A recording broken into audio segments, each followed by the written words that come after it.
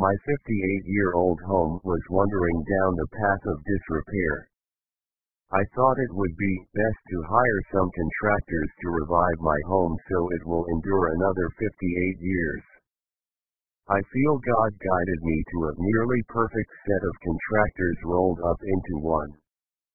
I was blessed to contract handyman Chuck and his business partner the roofer Lee. As you can view they restored my home well past its former glory. At a very very reasonable cost.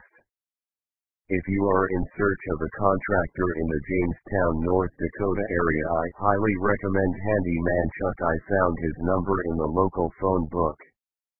As you can see they reshingled repainted halted the deterioration of the eaves reglazed the windows in my breezeway replaced my faltering screen doors and much more.